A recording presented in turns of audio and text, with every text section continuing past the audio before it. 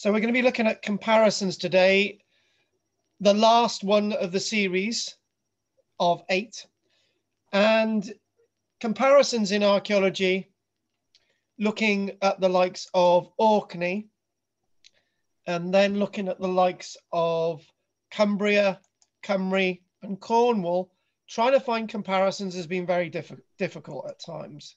But what we're going to look at today are sites that don't compare at all. But the one thing that you have in common is their unusuality.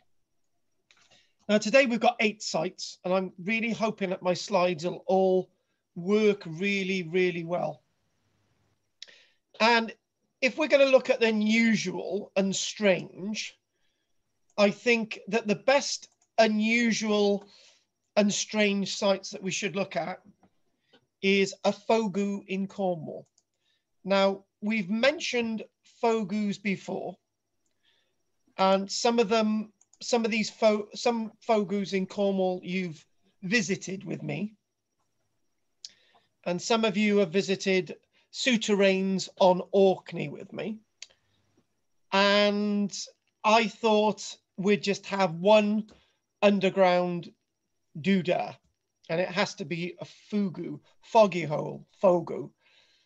They were featured featured in an episode of Time Team. There are 20 known substantial foggy holes in Cornwall, and they're just in Cornwall. That's it.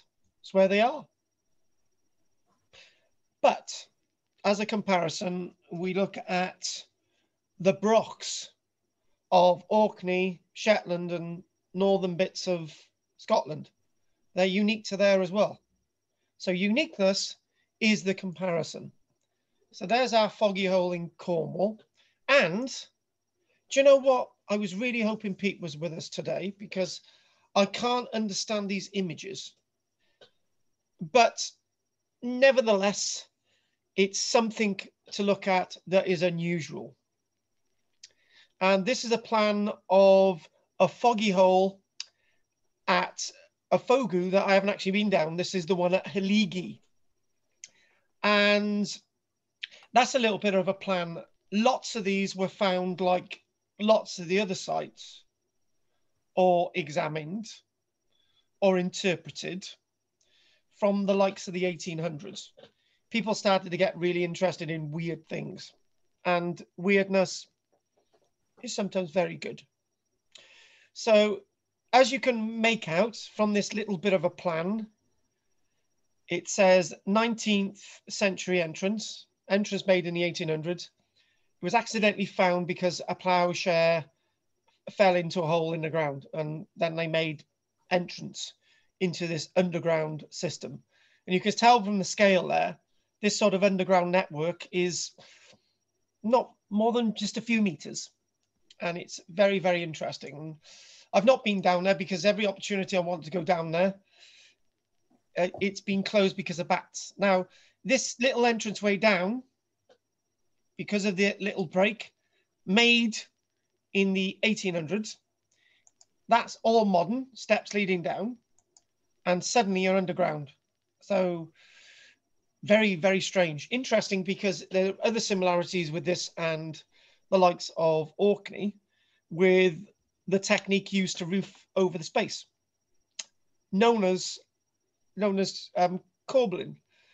And the wonderful thing with this is that the stones are really chunky and they've been put together and there's lots of weird things down there as well. So, so as we got that little bit of an image, before I prevaricate anymore, if you need to go to to see this. It, it just a little bit of an overview. This site and these fogus could be described as roofed and walled in stone, complex of passages, and the one at Halliggye, the largest and best preserved of these mysterious underground tunnels associated with the Cornish Iron Age. Nice. The purpose of such fogus, in the Cornish language meaning cave, foggy holes, that's a popular one. We don't really know what they were used for. And it's the same as a broch. We're not really sure about that. We've got ideas of what these were for refuge, storage, chambers, ritual, to hide, and anything. Lots of sort of to connect with the underworld as being described with some of those souterrains that we find in Orkney. And they date not of these little sites that we look at today, date from that sort of Iron Age, interestingly enough. But usually these remains have inevitably got something to do with settlement and has got a really deep connection with the landscape. These sites, like lots of the other, like the other seven examples, have got some kind of protection associated with them. So you can't just go in and take anything away. Some are on private estates, but lots of them managed by government agencies like Scottish Heritage or English Heritage or Heritage in Cymru, i.e. Cadw. The Halliggye Ffogw consists of a long, narrow tunnel leading to three sectioned chambers and a window-like entrance, which was dug in Victorian times, as I've mentioned. The complex of passages as a roof and walls of stone. It's been inevitably described since the moment it was discovered by accident. And writing back in the 1800s, 1861, people who wrote were either sirs or notable landowners. Sir Richard Vyvyan described the site. Um, he wrote of a comprehensive uh, description of this site and he basically described it as a site that was of Celtic manufacture. I'm putting that in this context of its wording. And he described it as a place that they may have actually stored meat because they found lots of bones down there. And with this ffogw, they found a vase, a cup-like object containing ashes. So we've got bones being found down there. It's got a, I'm saying, it's a ritual significance and they're, they're keeping ashes of people down there. So it's got a, a series of sort of understandings and meanings. And this is what I want to do today was the unusual. But it has been excavated and in more recent times in the 1980s and and not this one, but another ffogw in Cornwall was excavated by Time Team, who come up with the wonderful idea that they were used to store eggs because in one of them they actually found the remains of really old uh, bits of egg and but then again this is the problem with archaeology is it not that somebody thinks one thing and then they think all these things were used for the same purpose so whilst they examined this site as well strangely enough since it was found because the top of it was breached by a, by a plowshare. Try and say that fast. They've not only found and got lots of different interpretations with these types of sites, but they found lots of Iron Age pottery and some bits of Roman pottery as well. Very, very rich wares like Roman samian ware were actually found down this site at Halliggye, Cornwall. But what could it have been used for in the Second World War? To store ammunition. And in a way that adds to the enigma of such a site. Because you look at such sites and you think, well, what could they have been used for in the past? And then you think, well, what could they be used for today?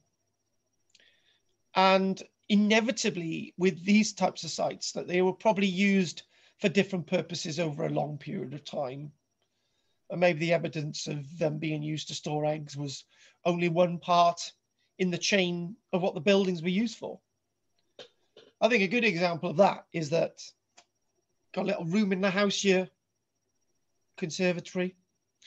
This was used, this was meant for dining, and now I've got a whole computer setup.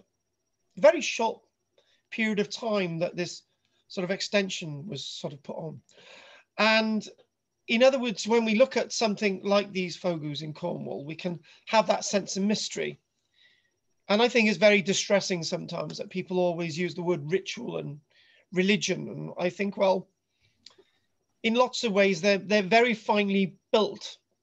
They, they are structurally sound. They've got a nice sense of corbelling for a roof and they've got long lengths of slab that go over as well. And you think, well, was this just made for religion? And maybe that was one phase of what it was used for, but maybe it was used for different things over time. And one of the things, one of the things that me and Bill came across, and I don't think Pat was there, I think she may have been, but when we went into one souterrain, it was that these these things were not used for religion. They were used for isolation. They were used for people to go down and they were used to communicate with Mother Nature. Interesting. But we shall never know. Even if we find some little evidence, evidences of what these were used for, that may only be one texture of the life's history. And if I was to be Professor Colin Richards from the University of Highlands and Islands given this presentation today, he would say that the smooth stones there on the right indicate this sense of ancient endo skin, sort of the, the heart of Mother Nature, that, that sort of polished surface that everything has to be pure. But it could equally be that loads of people have been down here over time and rubbed their arms against the wall, and hence why it's rather smooth. And do you know what? I'm looking at this and it just doesn't add up with the plan because if you if you look at I, I, I this is why I wanted Pete. I just thought I looked at this and I thought, right, that that's that's sort of leading down. If that leads down this passage here, and then you've got I couldn't really work this out, so I just thought got a bit confused.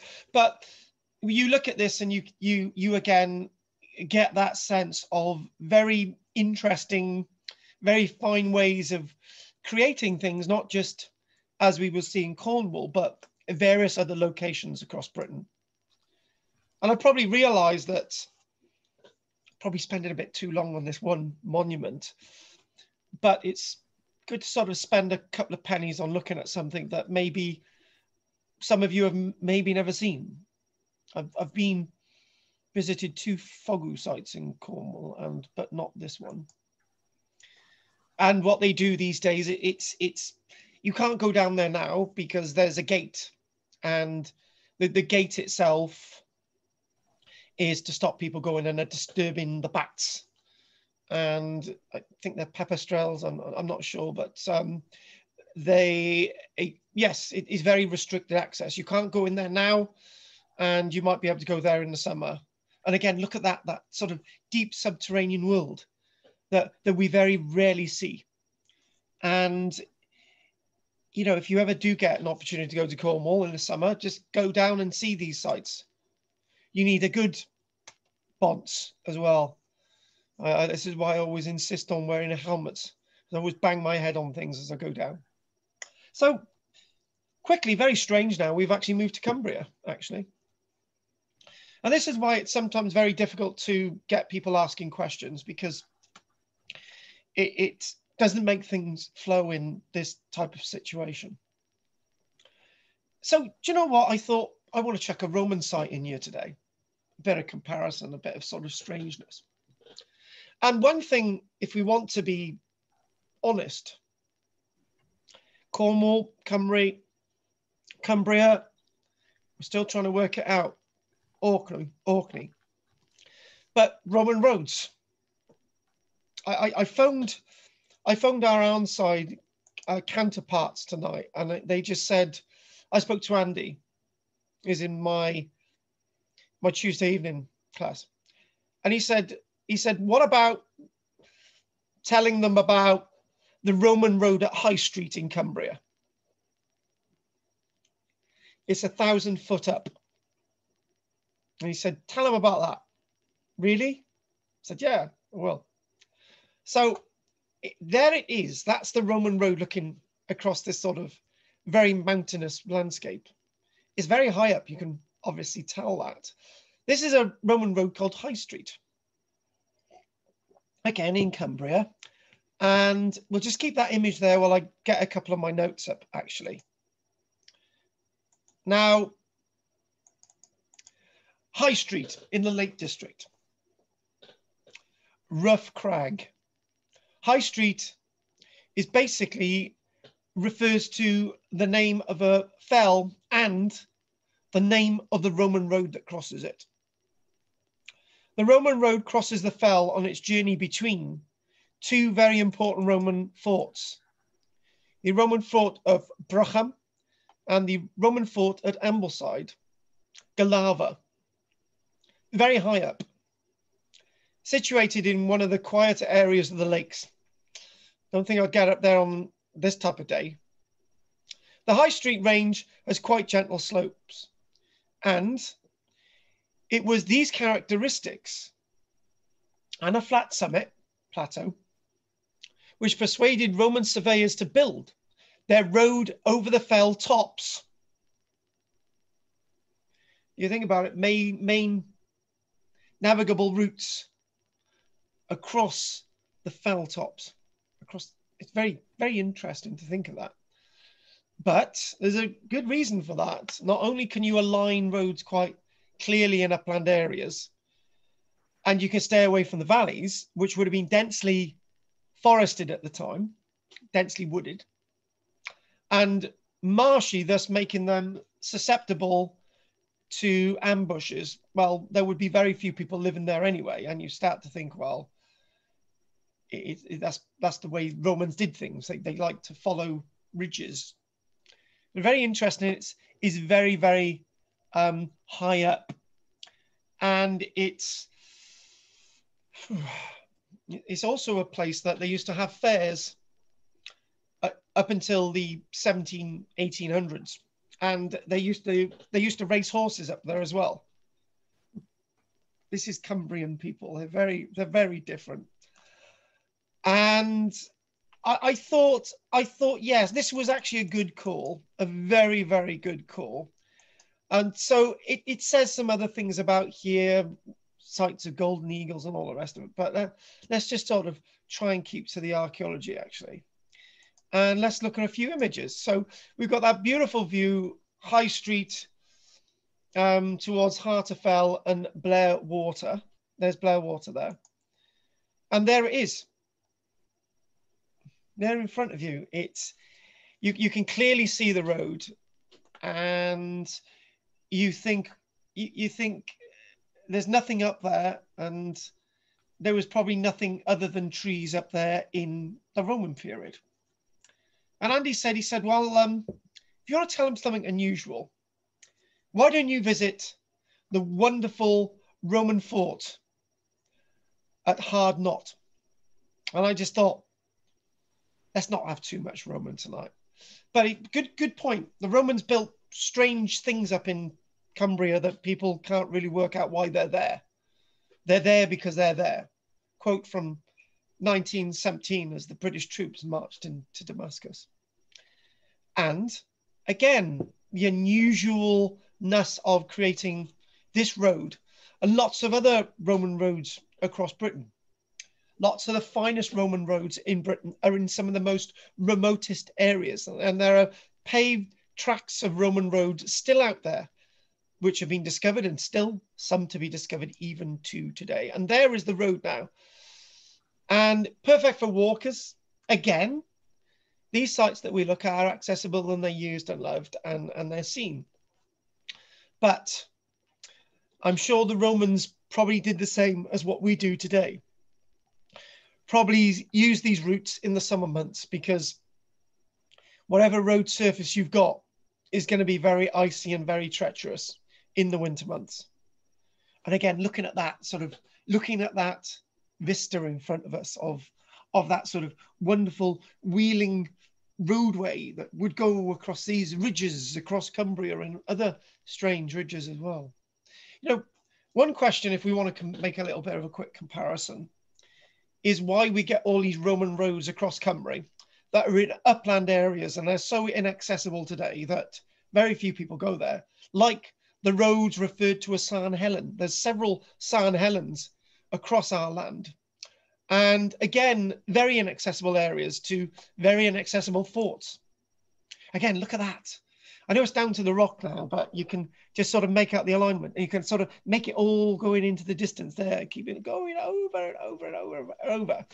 Uh, very, very, very uh, beautiful in the summer, but in the winter, not so. Next. Oh, by the way, the two sites that we've just looked at, I've not been to.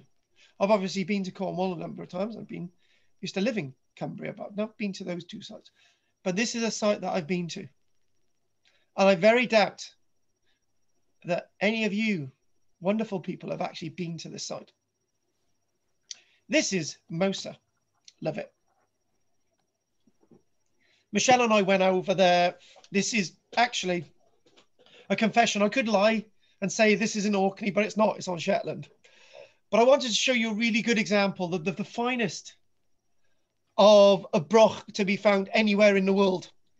And you always get somebody coming back at you saying, you only find brochs in Scotland. Exactly. That's the point. And the one thing that I'm sure was was being mentioned a few times, how do you build these types of structures? Where do you find the material from? Are you blind? It's in front of you. It, it, it it's there. It, it's you can pick it up like lollipops on the floor that somebody has just dumped. You can pick them up, and and these are slabs and perfect building material, perfect. But you read about Mousa, and there's a nice little tale about it. There's lots of little tales, and let's go into that. It's very near the coast today. I saw a, I saw a reconstruction of it earlier on. I shouted at the computer so much, I thought, no, I don't want to see this because they've used, they've reconstructed a different site to be this one. And I thought, no, Mousa's Mousa. It also come, it also takes us into the Iron Age. And in a way, you think about the Fogus, you think about this site, and you think about the Roman road. They're all around the same time, the Roman period, Iron Age, as it sort of interlocks. It's a round tower. And again, enigma like our wonderful fo foggy sites and enigma with the road. This has got a bit of an enigma. You think you know what it is, and then you don't. You think you know why, and then you don't. Now, it's the tallest broch still standing and among the best preserved prehistoric buildings in Europe. Upstanding prehistoric buildings in Europe, I've got to say that. It is thought to have been constructed around 2,100 years ago one of over 500 brochs. They, they can be found as far south as Stirling, but they're mainly in the north of Scotland. So you can only get to you can only get to this wonderful broch, and let's sort of show you where it is a second. And we go and wonderful aerial view, and it's if you go there, this is the island of Shetland, mainland Shetland, and Sandwick. And there is the island of Mousa just underneath the sea. And we stayed at Sandwick, and we had one of these like dormer places we were staying in and you could open it and you could look over to you could look over to Mousa. It was it was wonderful. And we thought we're gonna go there and we did. It's lovely, lovely, wonderful site, beautiful and it there there it is. That that gives you an idea. So again, if you follow the cursor, this part of Scotland with these brochs and Orkney and Shetland. And oh, amazing! Shock and awe.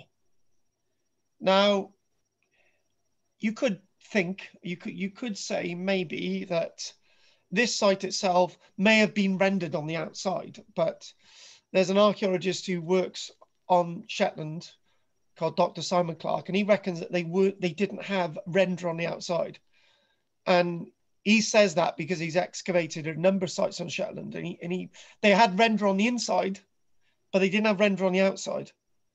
Uh, it, get very confused by that because the render would be pushed out on the inside by by the rain. But, he, but he's quite convinced that there's no render on the outside, and it's basically because if you put render on the outside because of the heavy rain, it'll just be washed off. But anyway, anyway, so saying a little bit more about this this site this site itself positioned on a flat rock. You you could see the the flat shelf of the rock earlier on, and strangely enough, it does look impressive. It's very impressive, but it's the smallest broch that ever existed. Well, wrong. It's one of the smallest brochs that ever existed in what we're talking about, and as well as one of the thickest wall bases and smallest interiors. So you just think that this standing today, old language 44 foot, modern day language 13.3 meters in height, probably stood about another one, one and a half, two meters. So probably, probably no more than about 15 meters in height. But you think about, you know, what the big ones, what size the big ones would have been. And it was probably because they were larger that they collapsed. Now, because it's so isolated and you need to go over there in a in a boat, it that's why it's so well preserved. And basically, when you go inside that little doorway you're looking at, once you go inside, there's an open area and you look all the way up. It's like it's like going to see one of those great chimneys and you look up and it's a great, you know, empty space. It looks a bit like that, but what you do see is a staircase, an intramural staircase. And, and that staircase goes into little zones within the wall, little sort of floors. And you, um, it is the only broch which is complete nearly to the top. It's made of dry stone, no mortar's been used at all. The entrance is on the west side, but unfortunately has been altered. The original passage is five meters and still has an original bar hole, but it's been slightly altered over time. We've we've just been we've just been joined by Ellen. So thanks for joining us, Ellen. Got a bit thrown there. We will look at it in a moment. So I'm just going to do my little bits of notes. Inside a hearth and floor tank can be seen in the central space. What I'll do, I'll get you the image on as well. And so we got that there. The entranceway has changed and they altered the height so that Victorian gentlemen and gentlewomen women could get into the site it was actually a lot lower, would have which would have been a lot better for keeping the heat in. And that there, you go through where that woman with the green coat is on, and that gives light into the little pods and the sort of ex, ex, internal intramural staircase inside. There's several sort of staircase um, areas and a really good staircase going to the top actually. Now, what I'm going to do we'll, we'll look at some of those images in a moment. But what you can see is that you can see a central hearth, a floor tank, and there is a, a low stone bench around the base of the inside wall, which you can clearly see. The Broch went through a number of stages of occupation. In its original condition, it may or may not have contained a wooden roundhouse resting inside the building. So you can, and maybe there would have been wooden floor levels all the way to the top. Others argue that that never, never happened. That never happened at all. And people actually lived in the walls, but if it would have rained, that fire would have gone straight out. And then eventually, what they would have designed was a very low lying stone structure in there, which would have been another phase. But the problem is when we think about these buildings, it's very, very difficult to work them out. Very, very difficult to work out what happened within. Bill, Pat, and I have had conversations with archaeologists about this, and some would say that there was floor levels in them. Some would say there was just one floor level in them. Others would say there were no floors in them originally, and Other times they were divided and subdivided. That's another lecture. I can't really spend too much time on that. But there are up to six levels of galleries inside the wall, sort of, sort sort of different sort of voids inside the wall for storage, for sleeping, and all these other things. Now, again, these are these are very, very beautiful sites. Let's just look at the images for a little bit. And as I, the, the, pro the problem is, the problem is what I'm trying to attempt today is, is trying to look at eight sites. So it should all have an hour dedicated to each of them. But to give you a nice little overview of these things, it's sometimes always best to sort of peer through, through a, few images to sort of give, give, give that sort of overview of things that you've never seen before. And again, look at that. That sort of to give light into the stair as you sort of go up. Wonderful. And I got to be honest with you, when I went in there, it felt it you had a good feeling. It it it, felt all right, you know. And with some of these buildings, um, if you're describing if you're describing this having this having a roof, this this is a um, ledge here, which would have held the beams to create an apex of a roof or another floor level. But as you can see, there's no other indication of any of the floors. So again, this is a mystery. The, the, this is like Fog Hills is, is, is again a mystery, but it is beautiful. Um, people on the top there giving you an idea of the height, conical shaped, and you can only wonder originally what these sites looked like. Opposite, when me and Michelle were wandering along the coastline, we, we had an absolute wonderful time when we went to this wonderful site. And what I'm got, what I need to do a minute is just check what Ellen seemed to go come and go. Actually, that's a bit of a shame. I just uh, do that. One thing on the on the mainland where we were. Sorry for that interruption. On the mainland where we were, there was a ruin broch that would have been much bigger than this, and it looked out. The mainland broch looked out to this one, and brochs usually have that sort of intercourse, that sort of that communication. And this is what Bill, Bill and I would have seen when we looked at the broch at Gurness. And you've you've also got um, I get the name of the one on the opposite side level on on Rousay mixed up with another site. It's Midhowe, isn't it? And that broch there, it looks out over to each other. So the, lots of these brochs communicate. Again, there's another link there. Communication roads, buildings communicating again, looking down there, and you can see this little ledge there, can't you? As I described, again, beautiful. As that entranceway there, as you look out, you can imagine that would be a lot lower, and that would being a lot lower would have meant that it would have been a lot warmer inside this building. Again, it looks very damp in there, doesn't it? And you start to think, well, surely it was rendered on the outside. And again, was it? And then you start to work out, did people actually live in here? Difficult to say again, looking more at that. Now, what we're gonna, what we're gonna, where we're gonna go next, folks. Again, we've we've moved, we've moved to another site. We're actually going to be looking at this wonderful object. Now. That bit. At a muter. Nice to have you joining us, Ellen this object, this this this this wooden object, and we're in Cymru now, a very unusual object. And I said, I said to Michelle, give me some unusual sites that, that maybe we could look at in Cymru. And she said, what about that wooden thing that was found in the Rhondda Valley, Mardy Valley? And I thought, oh yes, that. Look at it, it's wonderful. And if we show you that, hang on a minute, there. It's a bit of timber that was found not so long ago in, in the Rhondda Valley, because there's two Rhondda Valleys.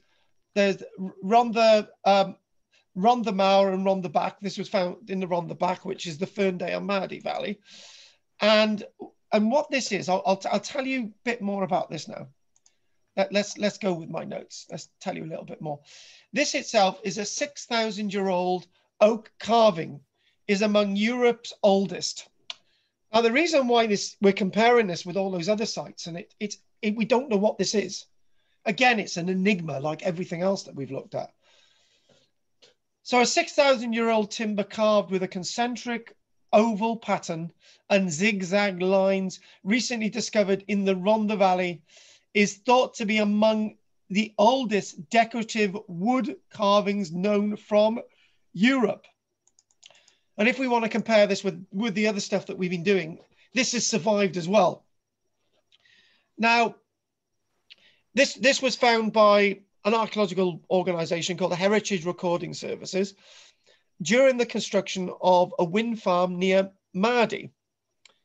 And it's 1.7 meters long. It's a 1.7 meter long timber and was preserved partially because it was found in waterlogged peat together with 11 other unmarked pieces of wood. Interesting. What are they? With one end apparently deliberately rounded and the other tapering slightly. The timber has been interpreted as a post. Really? What type of post, though? Possibly marking a locally significant site or a tribal boundary or representing a votive offering. Can we think of some other things other than votive offerings, please? Ra radiocarbon dating has placed this to a staggering nearly 6,270 years ago, and it's still with us today. So this takes us to the late Mesolithic into the Neolithic period, you know, so over 6,000 years ago, amazing. Most finds from this period consist of stone tools. So to have a decorative carving on wood, no less, is very exciting. I would say absolutely amazing. We all put bets on its age and nobody would imagine its date. This period marks the transition between the landscape being heavily wooded and a landscape changing to sedentary settlement permanent settlements that we eventually saw across the landscape. The timber was found by a stream edge on a small flat plateau, then as it was.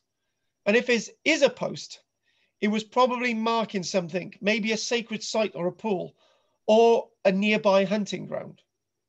There is an ancient um, lake bed nearby.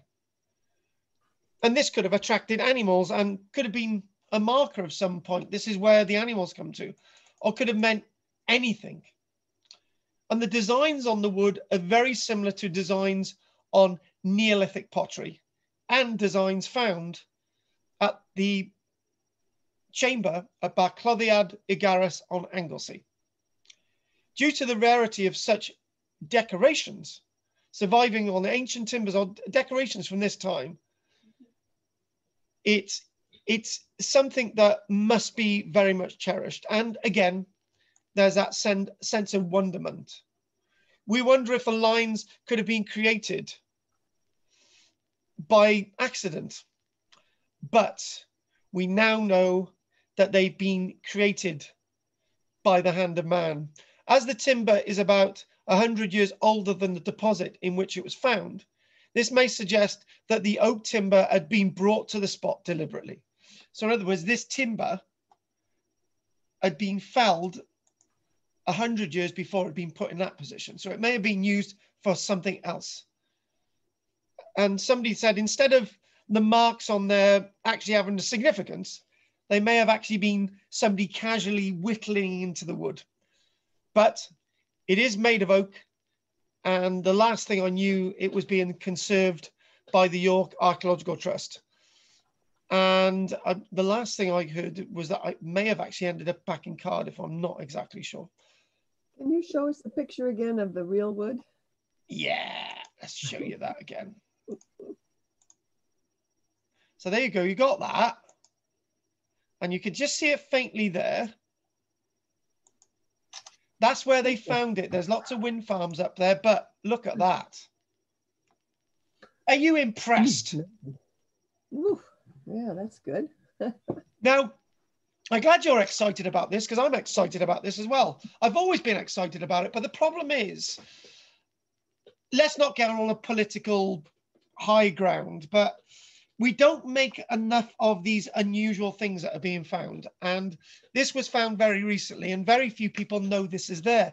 But then again, this is like the other sites, you know, High Street in Cumbria. I didn't know that existed, the weird Roman road up there. I know people know about fogous, but not many people go to a Halliggye. And you, you start to think, well, you know, some of these are hidden gems.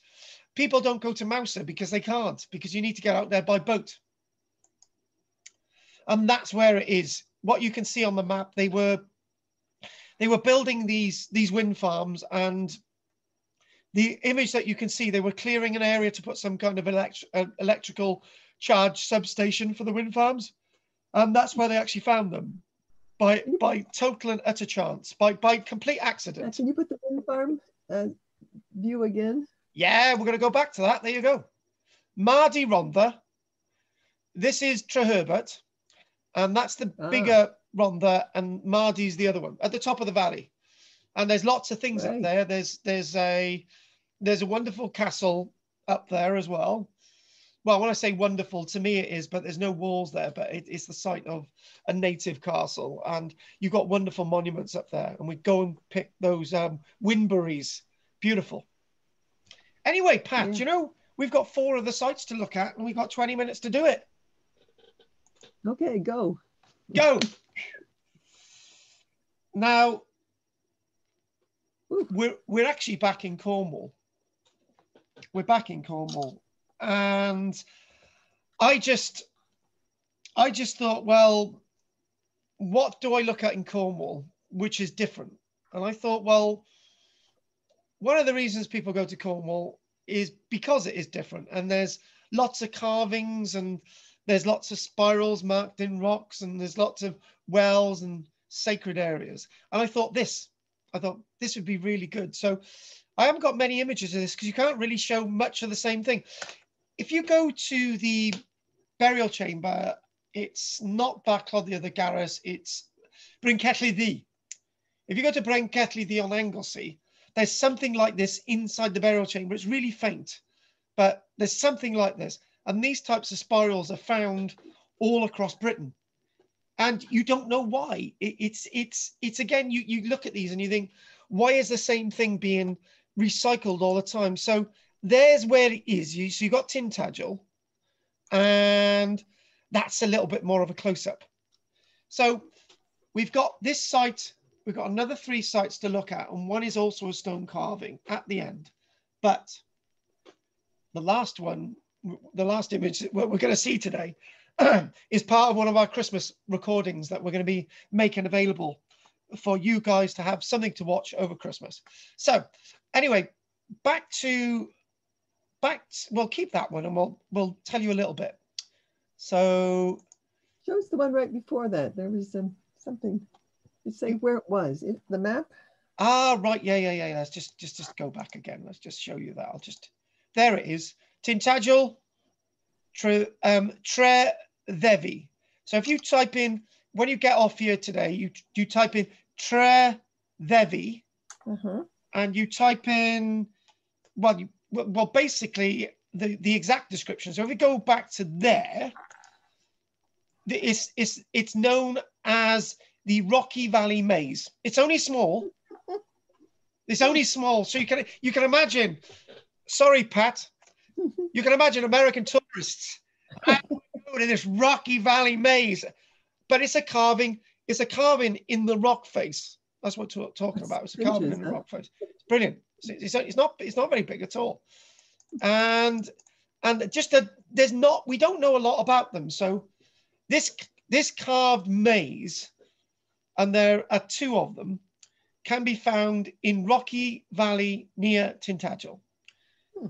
There are two such rock carvings on the rock face behind a derelict mill halfway down the valley. Hmm. There is some debate as to the origin of the rock carvings, as there always is with rock carvings, because unless you they're out in the open and there's a nice bit of patina or a bit of calcite or a bit of cover on them, it's very difficult to date. But the most appealing suggestion is they are truly ancient. Well, it, you would like to think so, dating back to the Bronze Age. So it might be 2,500 years old. This idea is based on the fact that similar style carvings of this era have been found in Galicia, in good old Spain, which have been dated. Given the state of preservation and tools required to carve the mazes, others claim the mazes are actually probably from the Iron Age. So they're not Bronze Age, not 3000, they're probably from probably 2000 years ago. Another opinion is they are later still and date back to the time the mill was built. So you can imagine somebody's thinking, right, I'm going to carve a little bit more of my maze out there. But no, the thing is, whatever date these things are, there's a massive sense of enigma with them. You think, why did they carve them? And then you start to think, well, why not? Why, why shouldn't they have carved these things? Why shouldn't they be part of our wonderful history across our land? And again, that design is is is very is very popular and, and very much very much something that's repeated over and over again. And it happens to be in this wonderful place of Cornwall. So, three other sites. Let's see where the images take us. So now we've done two in Cornwall. Where are we going next? So let's again look at that. Wonderful, absolutely wonderful there. So you've got you've got that there, and the the recycling circle of life, the the, the, the those wonderful knot designs from the, the, the period of early Christianity and, and so on and so on. But again, we like to carve these. The maze is, is a symbol across the planet. It, it really, really is. Next, haven't we already done stone circles? But there's something I didn't do when we were talking about stone circles.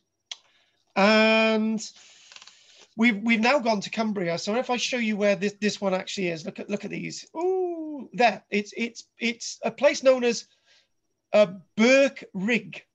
And the reason why, oh, we don't want to go there yet, but you recognize that, Pat.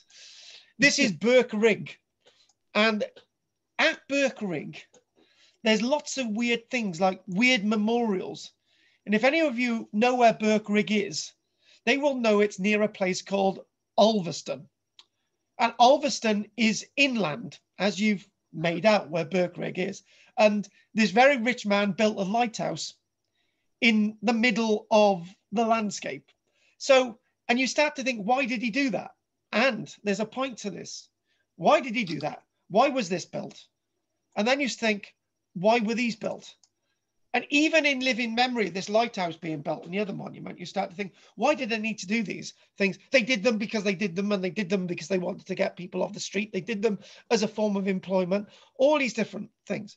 So let's just let's just go to Burke Rig, Birkrigg Stone Circle. And we use those terms, the other name for it, Druid's Temple, Druid Circle. Again, we've gone into the Bronze Age. Birkrigg Common, two miles south of the wonderful town of Ulverston. And if anyone knows anything about Ulverston, think Lauren Hardy Museum. There you go. And it dates from approximately 1,700 years BC. And again, why am I, why have I chucked a stone circle in here? I've chucked a stone circle in here because it's an unusual stone circle. There's evidence that there's there's multiple stone circles there. That there's one stone circle, there's another stone circle around the outside, another stone circle around that as well. And the the outer measuring 26 meters and 15 stones, and the inner being nine meters wide. So 26 meters wide and nine meters wide diameter, we should say, with 10 stones. And one point of two, limited excavation within the inner circle in 1911 found an upper and lower pavement of cobbles. Below the lower layer of cobbles, five cremations were uncovered. Three pits, one on a layer of cobbles and one covered by an inverted urn. A second excavation, 1921, produced a few small stone implements, which the excavator thought might be a pestle, a palette, and a piece of red ochre. and which might therefore have had a ceremonial use. And can you see what I've done there? A stone circle that had something to do with burial and not ceremony originally, or the other way round. And when we think about stone circles as a massive enigma, we think we know why they were constructed. We want to know why they're constructed, but we will never know. And again, the best example stone circles, Avebury, Stonehenge. And people argue why they're there. Solstice, midwinter sunrise, and all these other things. And and then overnight you get somebody excavating a site like this and say, actually, they did something else with it than than what we think about with Stonehenge. And again, the other thing as well is the other point to be made here is that stone circles, like when we think of when when we think of these these fogous like souterrains, underground chambers, and so on, we don't we don't really know why they were built, and even if we did, they would be used for different things over time. It's like a chronology. So, Pat, you're a good example. Once you were a child, you went to school, and then you went to college. You you you taught, and then you got married. You had children. You've got all these different roles in life, and it's it's it's the same with these stone circles, and it's the same with these underground chambers and all these other things. Nothing in history is ever fixed.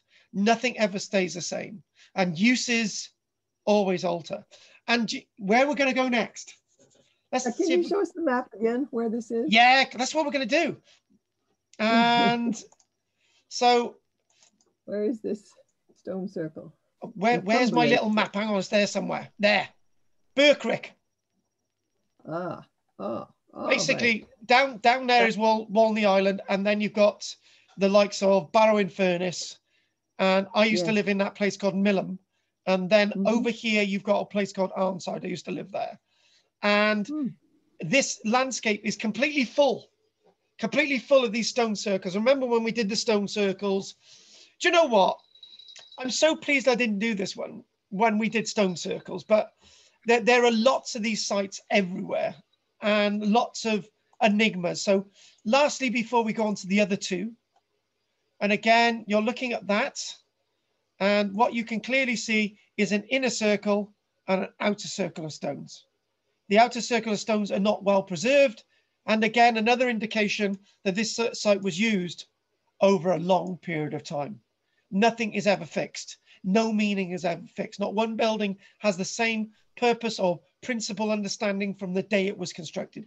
If these sites are used over thousands of years, even hundreds of years, not only people change, but monuments change. And we're going to go into a TARDIS. Hmm. This, oh, come on, Pat. Where is this? come on, Orkney. Orkney, yes. But where? The Fogou, the Fogou, isn't it? Mm, it's yeah, it isn't. It's not Fogou. It's a, it's like a souterrain. This is Mine Howe. Remember, oh. we, we went down there and we had to go down. Yeah. Yep. yep. And Clive, Clive dropped the key, and we had to get tongs to get the key out. Remember that? Yeah. We nearly had to pay about 10, 20 quid for a new key for the thing. But anyway, this itself is an underground chamber. And this, like all the others, is an enigma, a huge thing that we don't really understand. So we've got six we've got six, seven minutes to do this site and the last one.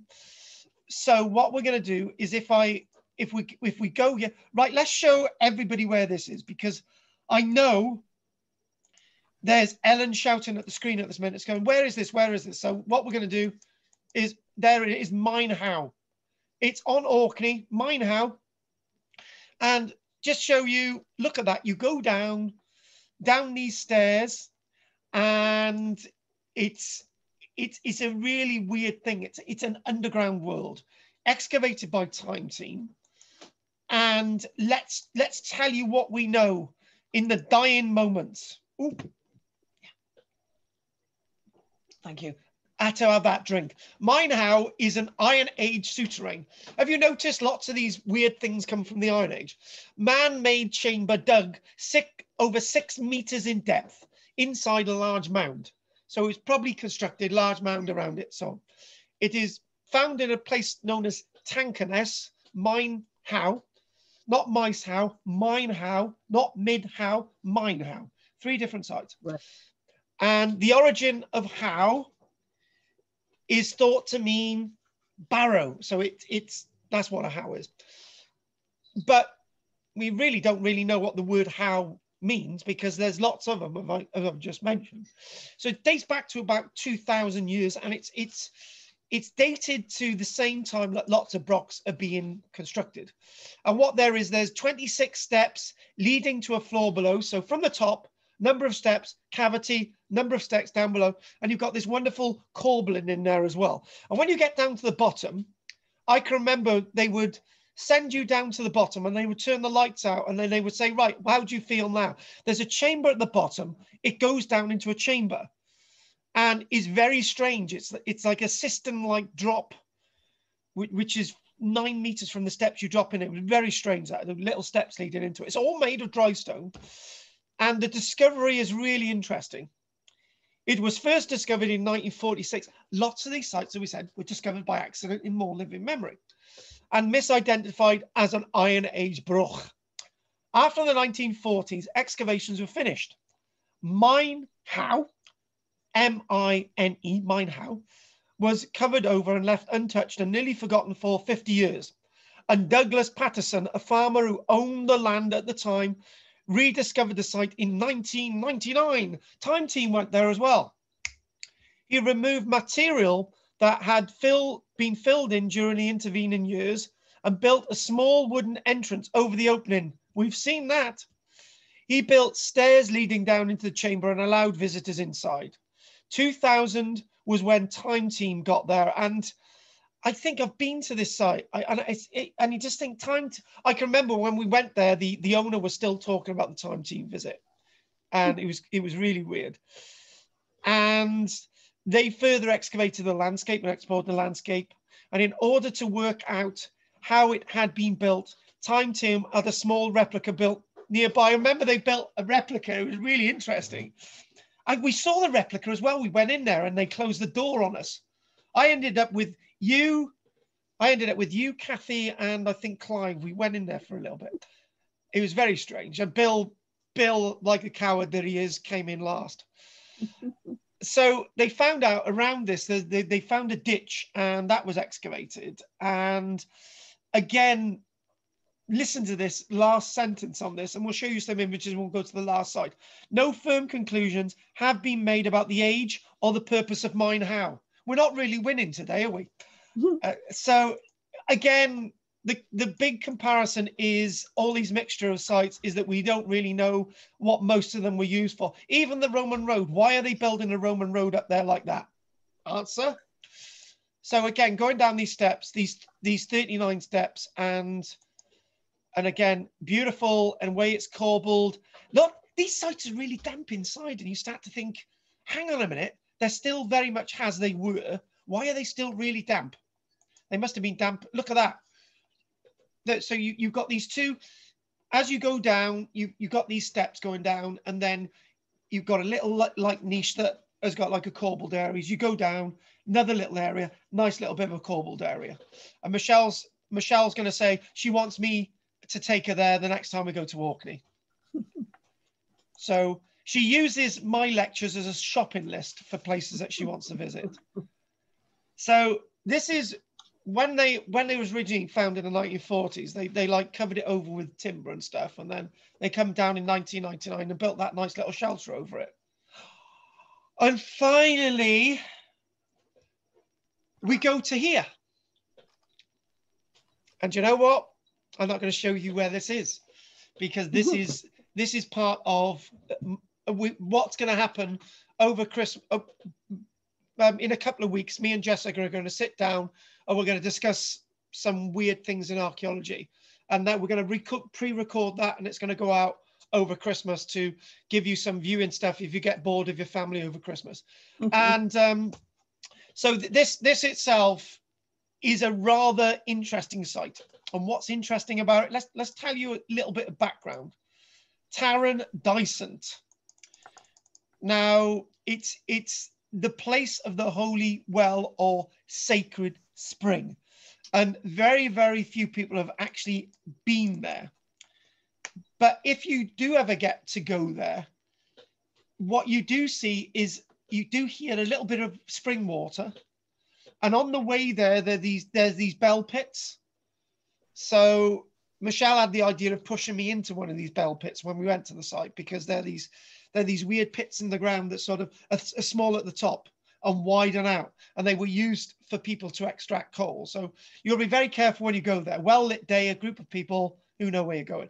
So when you get to this site, you can see a rock face, you can see some spring water coming out, and as you get close to it, you can see some carvings. And you know what? This I'm going to answer questions on everything else we've done today, but not this one, because it will spoil it for when I discuss this. But we'll look at a couple of images, and then, amazingly enough, we've we've come to the end. But what you can see, all those little images, don't they look very interesting? Spooky images, these spooky faces that look out at you, and look at that. Now the dates, the dates with these, do they go back to the Iron Age? Could they have gone back to the Iron Age if if the rock is forever move uh, forever shedding its skin and, and and it's eroding and so on? But it's nice to think of the date. Tarren Deusant. And look at that wonderful saintly figure. Mhm. So you can't see the saintly figure on the image I've just shown you, but you can see this sort of image as a side on. And actually, the all the images, if you put them together, would be the area of twice the size of my monitor screen in front of me. But they're they're slightly spread out, but they're just in one area. And I really like that sort of floating ghostly figure amongst all these wonderful images. And do you know what? That'll be a nice close to eight comparison lectures. And I'm going to mention next week that those are continuing, um, we're going to be looking at um, Roman and Iron Age sites, and we'll begin look, looking at various comparisons with forts and various um, civilian sites, and then we'll be looking at some Iron Age sites and see how all, all this goes together with Orkney and various different evidences and so on. That's what we're going to be doing starting next week. But what I'm going to do, that image is the one behind me, and I would like to stop the share. And what we're going to do, Pat, seven sites, not the last one. If you want to ask anything, ask it now. No, I really enjoyed it. I'm going to look it up on my phone so I'll know even more. cheat. So you should. No, so you should. All, all, all these all these sites, I want you to look at. That's why.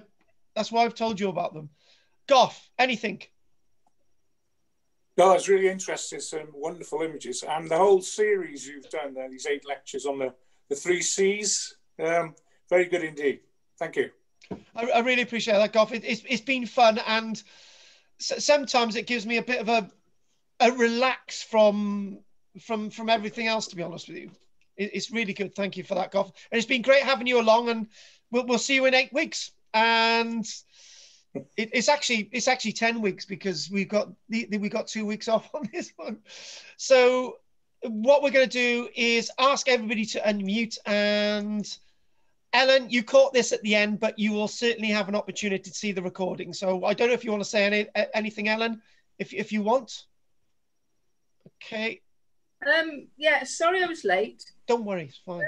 Can I just ask a general question about everybody? Uh, albeit I really enjoyed all the archaeology and that. When I try to get on Zoom meetings for another system, um, all I get is that twangy metallic voice on it. Right. So, Jews, does anybody know why that's happening? Because I'm I'm missing quite a lot of dental CPD meetings because I can't get the the, vol- the voice coming through properly. Uh, no, the answer is headphones, darling. Right, okay, I'll try to do that. Yeah, but ba- ba- bas- basically, your your audio port is different from your your main audio access. So if you've got if you basically get some headphones which do the job of a speaker, but if you're just listening, then a good old set of headphones, 10, 15 quid, get get invest in something which is better than Okay. something you get from home bargains, yeah. Yeah, and I'll do my best tomorrow, but I've got one meeting at 10.30 for an hour. Oh, what 10.30 to 11.15, and then one at 19.30 to 20.30 tomorrow. So that completely clashes with you as well. If you well you you could do a bit in the afternoon, a bit in the afternoon, bit in the morning, that's fine. Yeah, okay, cheers.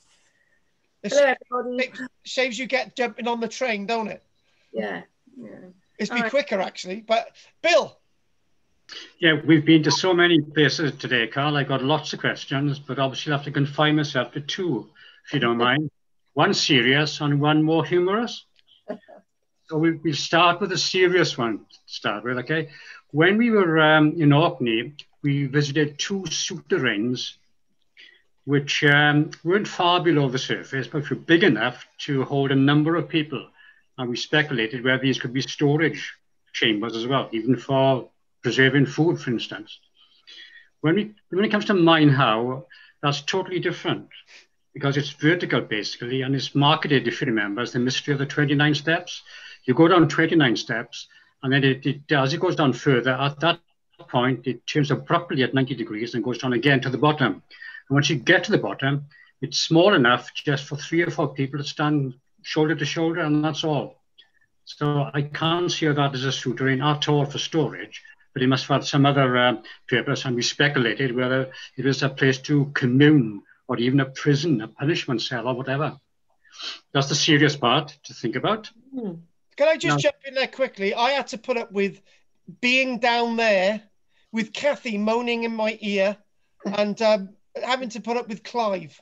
That was great. What a wonderful experience. The other, the other, the other point is um, when we were in Orkney again, um, we went to this little wonderful little um, hamlet called Twat, and it's part of the tourist industry. Whereas you can go in the shops there and you can buy mugs with Twat in them, Twat in them, tea towels, mugs, etc., etc. And we thought this was unique. But when you show the picture of um, Shetland and Mousa Broch in particular, on that same map, there was another twat. So there's one in Orkney and one in Shetland. I thought I put the record straight about that.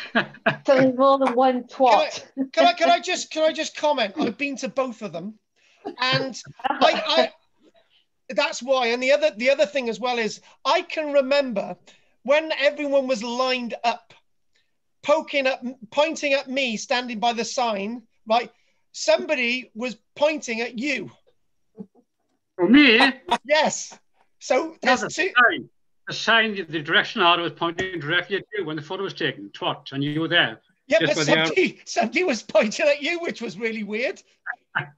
So it, it wasn't just me; it was you as well. Anyway, so Okay, Twat, yeah. Must go there again.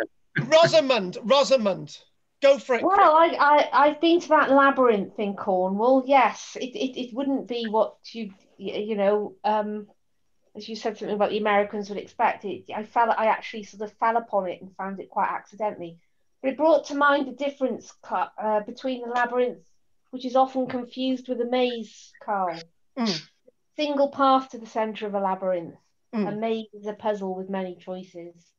a bit a of labyrinth, you have to go to the centre and come back out. The maze is something different. exactly. And so I think that was probably maybe tied in with the ancient people. It would have been a symbol of their of, of, of things to do in their life, perhaps. And things that we kind don't of tied in with the Fogou and the the other places we went today Exactly. and the deeper mysteries and meanings, perhaps, of life. Exactly. Thank you for that. Yeah. And and Pam, keep I'm- keep it keep it brief, darling. And Pam, what I'm going to do, I'm going to um, you have your bit, and I will close, and you stay on behind because I got to have a, a, a chat with you. So quickly, Pam, um, tell us what you need to do. Right, I've enjoyed watching and listening and learning. And that's it. Th- th- that's fine by me. And what what I'm going to do is, again, I've enjoyed these, and I, I'm actually coming out with a I've actually coming out with three books next year, and which is yes, we're, we're rewriting the Roman book. So by doing some Roman stuff, we'll get my head back into it, and that that'll be great. I have really enjoyed your support, and I, I've really enjoyed these these last eight weeks, and look forward to those of you next week. So I'll see most of you tomorrow. So Pam, stay behind, and what I'm going to do, I'm going to say good night. Thank you, people, to Pat, Goff, Bill, Ellen, Pam, Rosamond. Karl, can I have two questions, quickly? Oh, go on, quick, quick. The first one, you did say that you were thinking about uh, changing the times to seven o'clock, not seven thirty. Yes, I, I can't remember whether it's this one or the one tomorrow night. Point one, okay. yes. And the second point is, um, I I think the newsletters are overdue. Actually, Oh, it's, be, yes, it's, be, it's being question. worked on. It's being worked on as we speak. And the other thing as well is the last thing I'd like to ask. We, we I want to do seven o'clock because it's an earlier start, and you you guys can get to bed. That's it.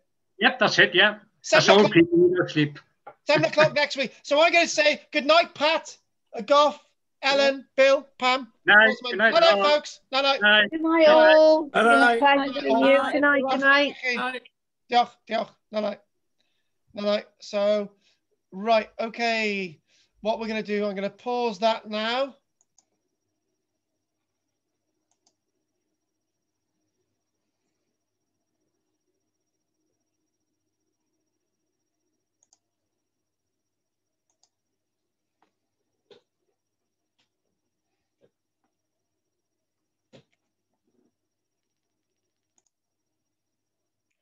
Thank you very much for watching this lecture. It's been uh, delightful doing the sessions in on comparison.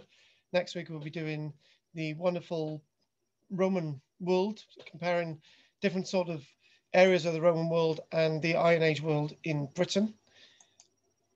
And if anyone would like to join them, www.archaeologycymruonline.weebly.com. Link down below. Press down below subscribe and like. It'd be really appreciated. And thank you very much. And always ask if you want to ask any questions. Thank you.